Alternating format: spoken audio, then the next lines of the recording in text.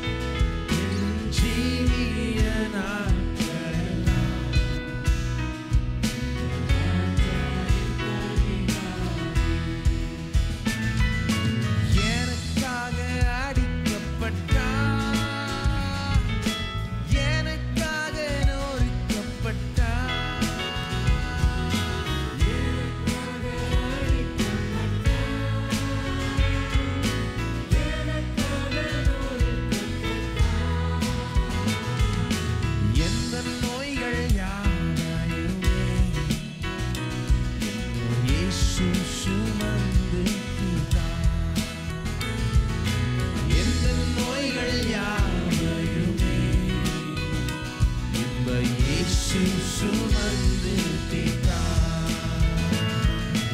இயேசு என் பரி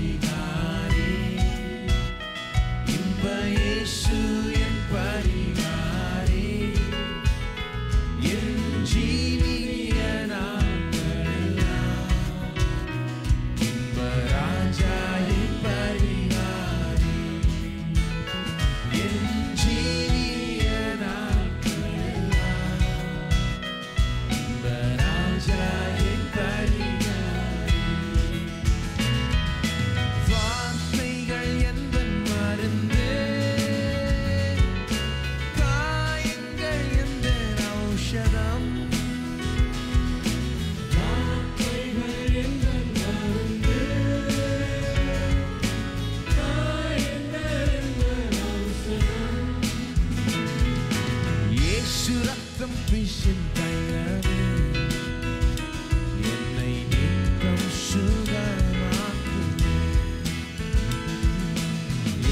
ரத்தம் தைலமே என்னை நித்தம்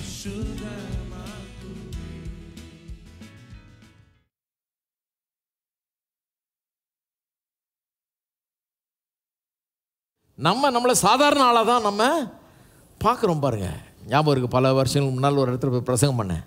ஒரு சின்ன மேடை போட்டு அந்த ஊரில் ஒரு சின்ன ஒரு கிரவுண்டில் சின்ன காம்பவுண்டில் சில நூறு பேர் தான் வந்திருந்தாங்க. பிரசங்கம் பண்ணேன். அங்கே யாரோ ஒருத்தன் பக்கத்தில் மந்திரவாதியான் அவன் வந்து என்ன பண்ணான்? எலுமிச்சம்பழத்தை கொண்டாந்து தூக்கி மேடை மேலே வீசிட்டான். மேடை மேலே நிறைய பாஸ்டர்கள்லாம் உட்காந்துருந்தாங்க அந்த காலத்தில் சில நேரத்தில் மேடை மேலே தான் ஜாஸ்தி ஆள் இருக்கும். கீழே ஆள் இருக்க மாட்டாங்க. அப்போ மேடை மேலே எல்லாம் உட்காந்தாங்க அவன் தூக்கி போட்டது நிறைய இது வந்து அவங்க மேலே வந்தோடனே ஆஹா ஊன்னு எல்லாம் அலறி அடிச்சு பயந்து கிந்து தாயி கடைசியில் நான் பிரசங்கம் பண்ணி முடிச்ச உடனே இந்த பாஸ்டர்கள்லாம் கூப்பிட்டேன்ட்டு சொன்னாங்க பிரதர் ரொம்ப ஜெபம் பண்ணணும் நீங்கள் ரொம்ப உபவாசம் இருக்கணும் ரொம்ப ஜெபம் பண்ணணும் ஜாக்கிரதை. போட்டானுங்க பிரதர் எலுமிச்சம்பழம் வந்து விழுந்துருச்சு அவன் ரொம்ப பொல்லாதவன். அவன் வந்து ரொம்ப அவன் பொல்லாத அவன் பிசாசின் பிள்ளை அவன். அவன் இப்படி பண்ணிட்டானாக்கும் நீங்கள் ரொம்ப கண்ணீர் விட்டு ஜெபம் பண்ணுங்க என்னிலேருந்து கத்தர் தான் அவங்கள காப்பாற்றணும் அப்போ தான் எனக்கு புதுசாக கல்யாணம் வர ஆயிருந்துச்சு.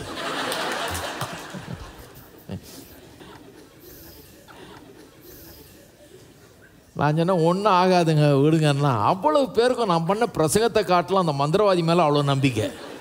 அவன் போட்ட அந்த எலுமிச்சம்பழத்து மேலே அவ்வளோ பெரிய நம்பிக்கை. நான் சொன்னேன் அட அந்த எலுமிச்சம்பழத்தை எடுத்து ஜூஸாவது போடுங்க. ஒன்றும் ஆகாதுங்க. அது ஒன்றும் ஆகாது அப்படின்னு பாருங்கள் இந்த ரத்தம் தெளிக்கப்பட்டு இவர்கள்லாம் பாருங்கள் பாதுகாக்கப்பட்டாங்க. பாதுகாக்கப்பட்டு அன்னைக்கு பூரா பாதுகாப்பில் இருந்தாங்க. வெளியெல்லாம் சாவு நடக்குது இவங்க வீட்டில் இல்லை. சங்காரத்தூதன் வந்து அங்கே அழிவு நடக்கிறது இவங்க வீடு பாதுகாக்கப்படுகிறது. வெளியே வர்றாங்க. வெளியே வந்த பிறகு எவனும் இவன் மேலே கை வைக்க முடியல. ஏன்னா ரத்தம் அந்த வீட்டோடு போயிடல இவங்கள சுற்றி அந்த ரத்த கோட்டை இருந்து கொண்டே இருக்கிறது. வெளியே வந்தவங்க அதான் சொன்னேன் போன போன வாரம் கூட சொன்னேன். பீலையாமுங்கிற ஒரு இப்போ குறி சொல்கிறவனு கூப்பிட்டு வர்றாங்க. அவன் வந்து துட்டை வாங்கிக்கிட்டு ராஜா கிட்ட காசை வாங்கிக்கிட்டு காசுக்காக வந்து குறி சொல்லி எதையாவது ஒன்று சொல்லி சா சபிச்சுட்டு போகலான்னு வர்றான் வாயை திறக்கிறான் வாய் வரமாட்டேங்குது. கத்தர் ஆசீர்வச்சனா எப்படி? சபிக்கிறதுன்னு அந்த கதையில் தான் வருது பாருங்கள் யாக்கோபுக்கு எதிராக மந்திரவாதமும் இல்லை குறி சொல்லுதலும் இல்லை. எல்லாம் சொல்லுங்க இல்லை. மந்திரவாதமும் இல்லை குறி சொல்லுதும் இல்லை. அப்போ தகடை பற்றி யாரும் பேசவே கூடாதீங்க. செய்வினை வச்சுட்டாங்க மண்ணை எடுத்துட்டாங்க அதை இங்கே வச்சுட்டாங்க என்னமோ பண்ணிட்டாங்க செஞ்சிட்டாங்க bro. இந்த பேச்சே இங்கே இருக்கக்கூடாது சொல்கிறேன் நான். ஏன்னா இங்கே என்ன பேச்சு? இயேசுவின் ரத்தம் என்னை சுற்றி தெளிக்கப்பட்டிருக்கிறது. நான் தினந்தோறும் அதை நம்புகிறேன். நான் ரத்தம் தெளிக்கப்பட்டவன் ரத்தம் பூசப்பட்டிருக்கிறது. ரத்த கோட்டைக்குள்ள நான் இருக்கிறேன். தெய்வீக பாதுகாப்புக்குள்ள நான் வாழ்ந்து கொண்டிருக்கிறேன். எந்த குறி சொல்லுதலும் எந்த மந்திரவாதம் என் மேலே பலிக்காது. இயேசுவின் நாமத்திலே அந்த பாதுகாப்பை நான் எடுத்துக்கொள்ளுகிறேன். இதுதான் இப்போ இந்த சபையில் மிஸ்ஸிங்காக இருந்துச்சு. இயேசுவின் ரத்தம் இயேசுவின் ரத்தம் ஒரு பக்கம் சொல்லிட்டு ஒரே கன்ஃபியூஷனு இந்த பக்கம் இயேசுவின் ரத்தம்ன்றது அந்த பக்கம் தகடு தேடிட்டு இருக்கிறாங்க இன்னொரு ஆள். அவர் ரத்தம் ஜெயம் ரத்தம் ஜெயம்னு தேடிட்டு இருப்பார் அவர். ரத்தம் ஜெயம்னா தகடு என்ன பண்ணும்? ரத்தத்துக்கு என்ன வேல்யூ இந்த தகடுக்கு என்ன வேல்யூ தகடு காலனா கூட வேல்யூ இல்லாத தகடு. அதில் எந்த வல்லமையும் கிடையாது. ரத்தத்தில் சர்வலோகத்தின் பாவத்தையும் கழுவுகிற வல்லமை. அன்றைக்கு பார்வோன் கையில் இருந்தவர்களை விடுவிக்கிறது மட்டும் இல்லை பிசாசின் கையில் இருந்தவர்களே விடுவிக்கக்கூடிய வல்லமை இந்த ரத்தத்தில் இருக்கிறது. இருக்கீங்களா? எத்தனை பேர் இருக்கிறீங்க? இங்கே ஆமின்னு சொல்லிட்டு அப்புறம் வேற எதாவது பண்ணிட்டு இருக்கக்கூடாது. எங்கேயா போய் லைனில் நின்றுக்கூடாது பிரதர் எங்கள் வீட்டில் ரெண்டு பிசாசு இருக்குன்னு அவர் சொல்லிட்டாரு.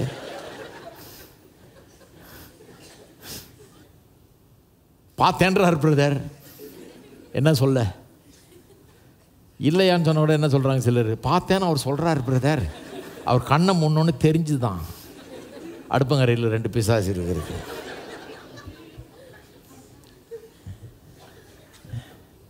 பேசவே கூடாது. எமேன் அடுப்பங்கரை ரத்தம் தெளிக்கப்பட்டிருக்கிறது. பெட்ரூம் ரத்தம் தெளிக்கப்பட்டிருக்கிறது. வீட்டை சுற்றி ரத்தம் தெளிக்கப்பட்டிருக்கிறது. வெறும் யாரோ வந்து தண்ணி தெளிச்சிட்டு போல. ஹலோ இயேசுவின் ரத்தமே தெளிக்கப்பட்டிருக்கிறது. தெய்வீக பாதுகாப்பு அங்கே உண்டாயிருக்கிறது.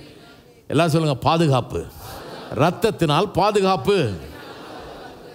ஏமேன் அதை ஒவ்வொரு நாளும் சொல்லணும். அறிக்கை செய்யணும். நான் ரத்த பூசப்பட்டவன் ரத்த தெளிக்கப்பட்டிருக்குது. ரத்தத்தை இயேசுவின் நாமத்தில் தெளிக்கிறேன் பூசுகிறேன் அந்த ரத்தத்துக்குள்ளே நான் இருக்கிறேன். அப்படிங்கிறத அறிக்கை செய்யணும். ரெண்டாவது ரத்தம் அன்றைக்கு அவர்களுக்கு விடுதலையை கொடுத்தது டெலிவரன்ஸை கொடுத்தது. பாருங்கள் நானூற்றி முப்பது ஆண்டுகள் அங்கே அப்படி இருந்துட்டாங்க. அதில் எழுபது ஆண்டுகள் போக முந்நூற்றி அறுபது ஆண்டுகள் கஷ்டம்தான். அடிமையில் வாழ்ந்துருக்காங்க. முந்நூற்றி அறுபது ஆண்டுகள் கஷ்டப்படுறதுன்றது கொஞ்சம் நஞ்ச கஷ்டம் இல்லைங்க. இது மூ மூணாண்டு கஷ்டம் இல்லை முந்நூற்றி அறுபது ஆண்டு கஷ்டம். யோசித்து பாருங்கள் எப்பேற்பட்ட பயங்கரமான கஷ்டத்தின் பிடியில் அவங்க இருந்திருக்காங்கன்னு. அந்த கொடூரன் அந்த பார்வோனன்கிறவன் அடக்கி ஒடுக்கி நசுக்கி கசக்கி புழிஞ்சு இவங்களை வேலை வாங்கி ஆள் ஆள் என்ன ஆட்கள் இது? என்னன்னு ஆளோட்டியில் ஆளோட்டிகள் ஆளோட்டிகளை வச்சு ஆ, ஆளோட்டிகளை வச்சு இவங்களை ஓட்டுறதுக்குன்னு ஆள் வச்சுருக்கான் பாருங்கள் அடிக்கிறதுக்கு பிடிக்கிறதுக்கு. அப்படி வேலை வாங்கி வச்சுருக்கிறான் அவன். அப்படி இத்தனை ஆண்டுகளாக தலைமுறை தலைமுறையாக அவங்க கீழே இருந்திருக்கிறாங்க. அப்போ விடுதலைங்கிறது லேசான விடுதலை இல்லைங்க. இவன்கிட்டருந்து போயிடலான்னு பார்த்தா யாரும் தப்ப முடியாது. அப்போ ஏற்பட்ட ஒரு ராஜா அவன் கா அவன் அதிகாரத்துக்கு கீழே எல்லாம் இருக்குது. ஒருவனும் தப்பி ஓட முடியாது. மோசை போய் கேட்குறான் கத்த சொல்கிறார் போக விடுன்னு ஆ உங்கள் கத்தட்ட சொல்லு. போய் வேலையை பார்க்க சொல்லு. போக விட முடியாது. அவர் என்ன பண்ணுறாருன்னு பார்க்கலாம். அப்படிங்கிறான் அவன். அப்பேற்பட்ட ஒரு ராஜா அகங்காரம் பிடிச்சவன் திமிரு பிடிச்சவன் அப்பேற்பட்ட ஒரு பொல்லாதவன் இரக்கமே இல்லாத ஒருவன். முந்நூற்றி அறுபத்தி ஒரு வருஷங்களை போட்டு வாதிச்சு வதச்சி இவங்களை ஒன்றும் இல்லாமல் ஆக்கி நசுக்கி வச்சுருக்கிறான். அவன் கையிலேருந்து யாரும் தப்ப முடியாது. ஒரு ஈக்காக கூட அங்கேருந்து இவன் பர்மிஷன் இல்லாமல் வெளியே வர முடியாது. அப்படி சிக்கிட்டு இருக்காங்க. எந்த சக்தியும் இந்த உலகத்தில் இவங்களுக்கு விடுதலை வேறு எந்த ராஜாவும் வந்து விடுவிக்க முடியாது. இவன் தான் super power number one world power அவன் தான் அன்னைக்கு. யாரும் விடுவிக்க முடியாது. ஆனால் அவனை காட்டிலும் ஒரு வல்லமை இருக்குது. நம்முடைய தேவநாயகி கத்திருக்கு அன்றைக்கு என்ன ஆச்சு? அந்த ரத்தத்தை சிந்தி அந்த நிலக்காலில் பூசினாங்க. உள்ளே போய் உட்காந்து அந்த மாம்சத்தை சாப்பிட்டாங்க. அந்த ஆட்டினுடைய மாம்சத்தை சாப்பிட்டார்கள். வெளியெல்லாம் சங்காரம் நடக்குது.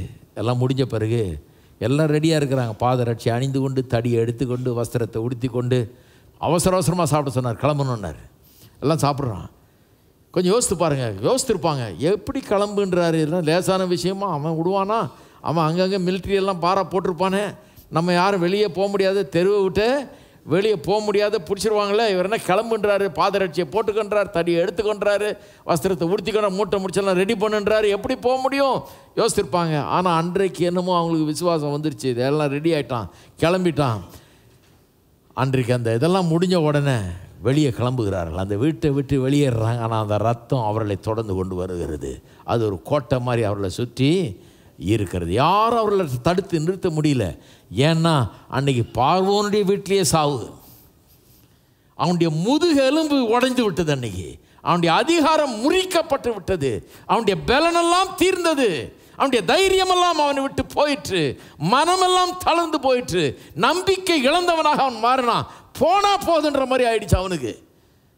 பார்வோனுடைய முதுகெலும்பை அன்றைக்கு கர்த்தர் முடித்தார் நான் சொல்கிறேன் ஆண்டவராக இயேசு கிறிஸ்துவின் ரத்தம் சிந்தப்பட்ட போது அதை நான் என்றைக்கு நான் விசுவாசிக்கிறேனோ எனக்காக அது சிந்தப்பட்டது. அப்படின்னு சொல்லி நான் அதை அறிக்கை செய்து எனக்கு அதை பூசிக்கொள்கிறேனோ அன்றைக்கு பிசாசனுடைய முதுகெலும்பு என்னுடைய வாழ்க்கையில் முறிக்கப்படுகிறது. அவன் பலன் இழந்தவனாகிறான். அவனுக்கு எந்த அதிகாரமும் கிடையாது அவனுக்கு எந்த மேன்மையும் கிடையாது. அவன் இனி ஆள முடியாது ஒடுக்க முடியாது நசுக்க முடியாது. அவனுடைய வல்லமை அங்கே பலிக்காது. ஒன்றுமில்லாமல் ஆகிறான் அவன். எனக்கு விடுதலை உண்டாகிறது. யாருமே தர முடியாத விடுதலை எந்த மனுஷனும் கொடுக்க முடியாத விடுதலையை அன்றைக்கு இயேசுவின் ரத்தம் அவர்களுக்கு உண்டாக்கி தருகிறது. நல்லா யோசித்து பாருங்கள் இப்போ நான் சொல்லுகிறேன் கிறிஸ்தவர்கள் இதுக்கெல்லாம் முழித்து கொள்ளணும் இந்த சத்தியத்துக்கெல்லாம். அதனால தான் நான் சொல்கிறேன் விடுதலை கூட்டம் அவசியம் இல்லை. சைலண்ட்டாக இருக்கிறீங்க. விடுதலை கூட்டம் அவசியம் இல்லை. விடுதலை கூட்டத்திலேருந்து விடுதலை வேணும். விடுதலை விடுதலை கூட்டம் அவசியம் இல்லை.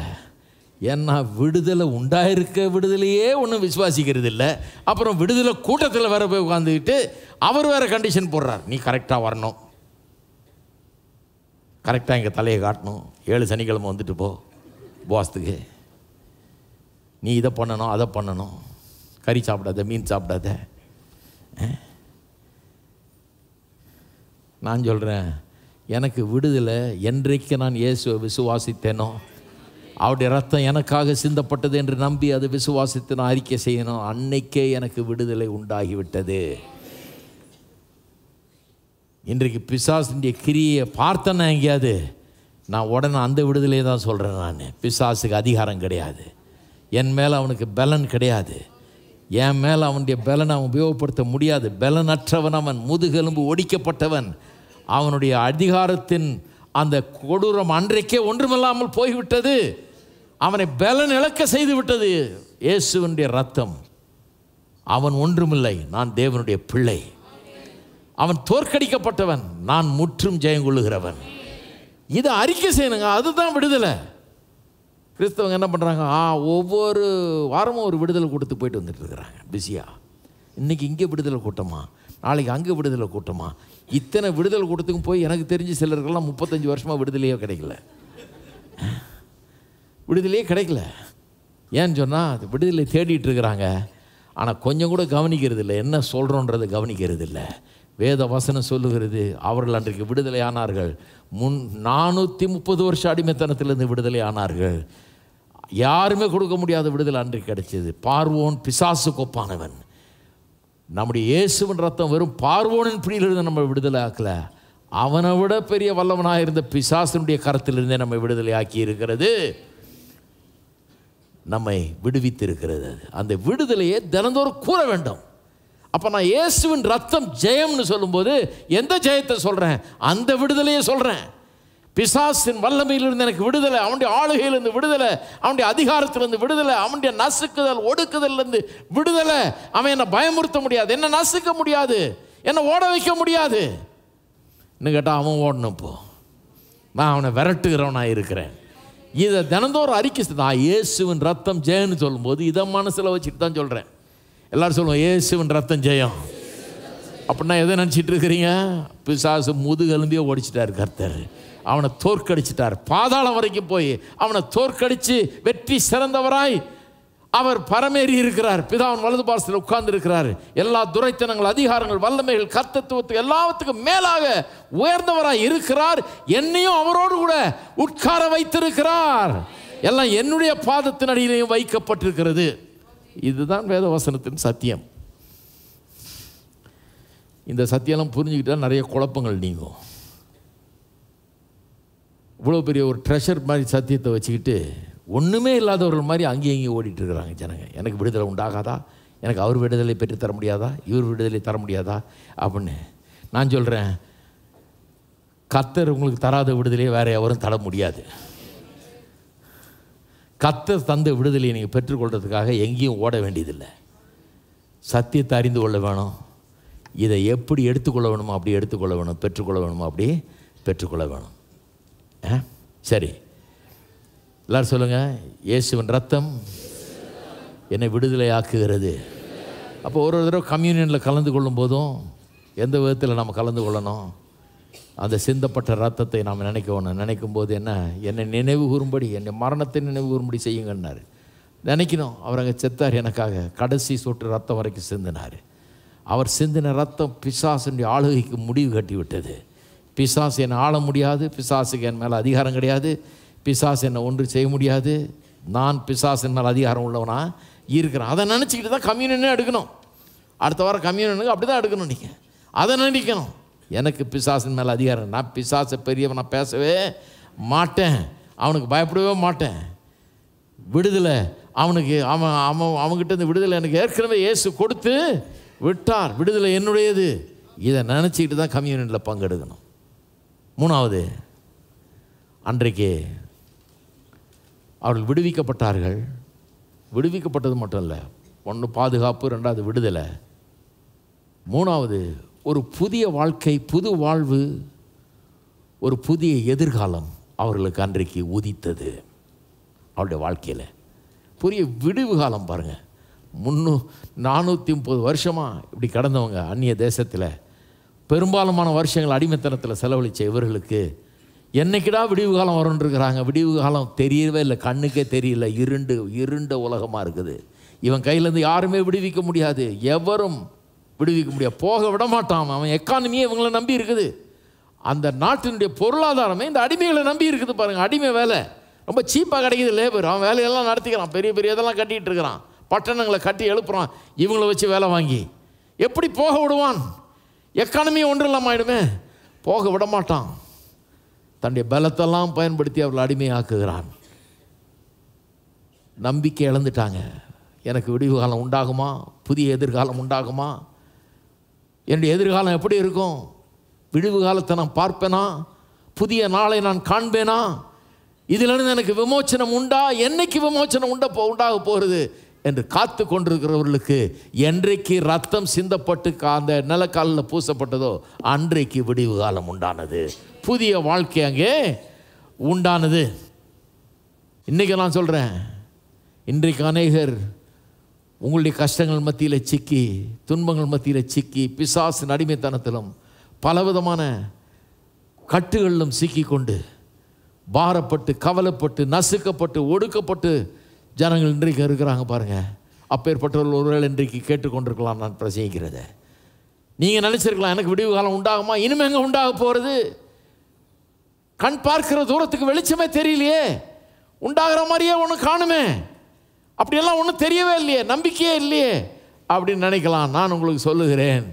கல்வாரி சிலுவையில் இயேசு கடைசி சொட்டு ரத்தத்தை உங்களுக்காக சிந்தி இருக்கிறார் உங்களுடைய மீட்புக்காக விடுதலைக்காக.